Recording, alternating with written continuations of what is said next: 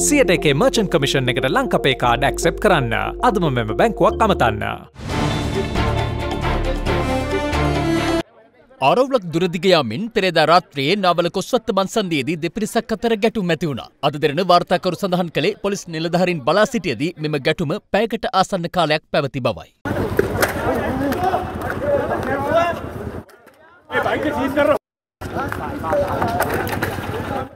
පොඩි පොඩි පොලිසියට කතා කරන්න තියෙනවා. මැරණ කන්ද මේ මොනවයි කරන්නේ කරන්න? එක්ක 199 ගහන්න ගහන්න.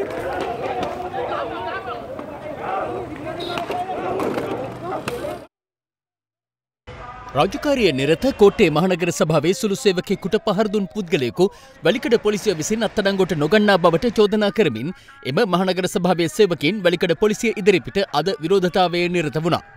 සේවකින් පවසන්නේ කසල ඉවත් කර ගැනීමට ටික වේලාවක් රැඳී සිටින්නයි සේවකින් එහිදී ප්‍රකාශ කළ අවස්ථාවේ අදාළ පුද්ගලයා රථයෙන් බැසවිත් පරුෂ වචනයෙන් බැන පහර දී ඇති බවයි.